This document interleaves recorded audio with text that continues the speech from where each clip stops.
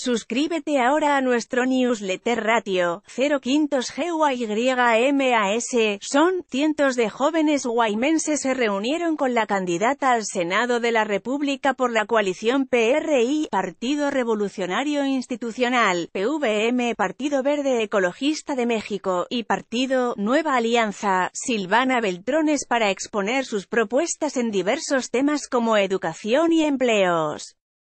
Priscila Calderón, joven de 20 años de edad, estudiante y madre soltera solicitó a la candidata mayor oportunidad para las mujeres jóvenes que estudian y se hacen cargo de sus hijos.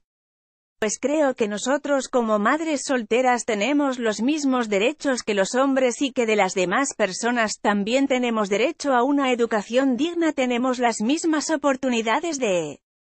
trabajo y la verdad sí nos gustaría que nos apoyaran porque pues muchas personas estudiamos y trabajamos y la verdad sí se nos hace un poco pesado llevar esa obligación. La candidata a senadora Silvana Beltrones dijo que si los jóvenes le dan la oportunidad ella les demostrará con hechos que se puede acceder a sus peticiones.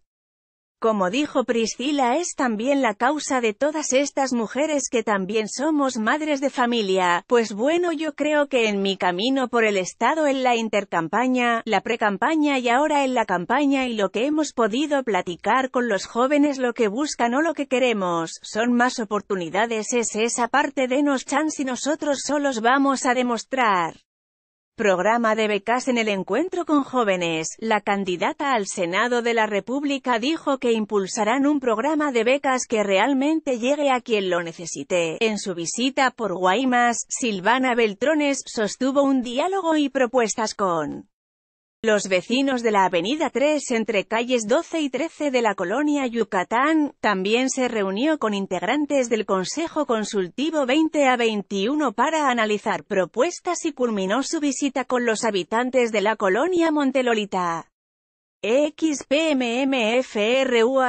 2018 Calificar la nota. 0 rating. Yo Expreso Repórtanos por WhatsApp 662 126 2721 X. Resultados de la encuesta